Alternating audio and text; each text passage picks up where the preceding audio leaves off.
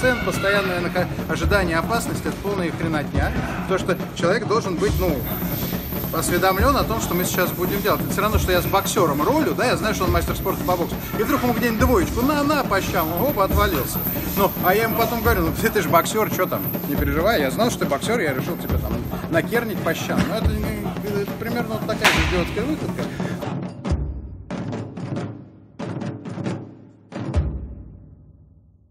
Опасных вещей в джиу-джитсу гораздо более опасных, чем какой-нибудь сраный нерипинг или футлоки, э, их очень ну, гораздо больше. Э, И мы по этому поводу как-то не комплексуем. Ну вот правила так составлялись. Когда-то кто-то, видимо, из э, монстров отцов-основателей пострадал от этих техник. У, у них, да, у них по этому Скобочка поводу нет. случился Батхерт, и они смогли это чуть ли... Если бы они могли, они в Конституцию Бразилии включили этот запрет там, того же нерипинга. Но, видимо, у них не совсем это получилось, они включили его в правила IBGF.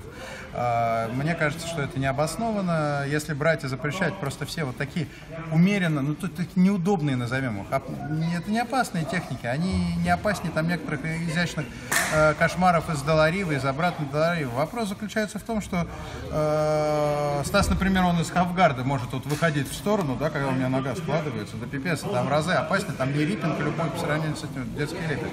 Вопрос в том, что э, людям было неудобно, и это желание не изучать это. Просто взять и убрать это из соревнований. А еще по, по, пометую вот эту... среда. Да, комфортная среда, создание ее самой себе, э, этой школе. А в свое время это было по дзюдо очень хорошо заметно, потому что в дзюдо в 1914 году взяли и убрали из соревнований болевые на ноги.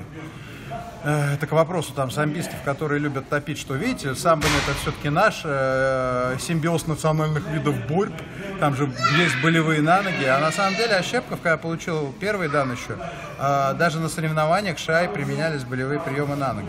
То есть ты помнишь еще эти Да, я 914 отлично помню эти времена, помню, говорю, Васян, давай, соберись. Миша Сейчас даже ноги будут хотел крутить». участвовать, но так не Да, сложилось. да, да, но что-то как не пошло. В силу возраста не сложилось, И ситуация, да, не было дивизиона Мастерс 6 там. Мастер, мастер с минус 6.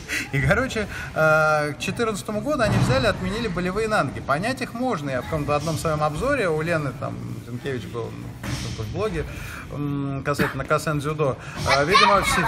Ку-ку! Все- Ага, в силу отставания, видимо, в то время э, таких вещей, как травматология, ортопедия э, в Японии, им, конечно, не хотелось так часто терять спортсменов. Они на утюгах уползали из этого Кадакана или с Киотского э, центра э, Дайни Помбу Токкай. А, Поэтому они просто убрали это из соревнований, а то, что убрали из соревнований, перестают изучать в принципе, потому что оно нахрен никому не нужно, что тратить на это время. Да, и поэтому, вот как ни странно, в дзюдо же Привет в есть... Да, В дзюдо, в дзюдо есть очень интересный как бы огрызок от, этой, те- от этих техник. Э, Там же есть несколько ката. Э, Нагану ката это набор бросков такой, э, который сдают каче- в виде экзамена. А а есть катамину ката. Это техника, демонстрация техники в партере. Самая последняя техника там, это тот самый нериппинг.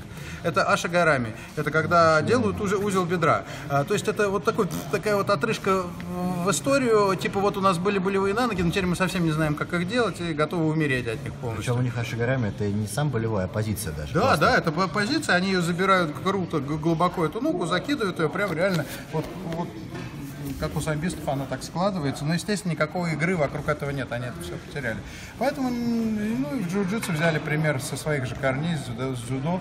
просто запрещать какие-то техники, они выхолащиваются, и слава богу, в принципе, что есть и DCC, есть другие э, виды. Как тебя зовут? Ага, меня зовут Медведь. Вот, а, и Тебя дядя Миса. да, конечно. А И в конечном счете в- вот эти вот вещи, я считаю, что запретом не должны подвергаться, они должны подвергаться очень тщательному изучению. Как те же бросок ножницами, да? Ни- Ничего такого супер опасного в этом нету. Покалечиться можно и броском через спину с колен, да, реально может человека инвалидом оставить. Если воткнуть его огнетушителем и гардпулом. Но э, запрет это не лепится. Э, нужно просто хорошо это изучать, нужно хорошо учиться э, даже получать эти все технические действия в свой адрес, правильно на них реагировать, а не паниковать, падать вперед, ноги назад, и ты уже в двух частях такой существуешь, как кинофильм какой-нибудь. Ну, несерьезно. Поэтому я противник таких запретов. Я бы убрал правила э, не риппинга, я бы совершенно четко разрешил бы синих поясов и далтов и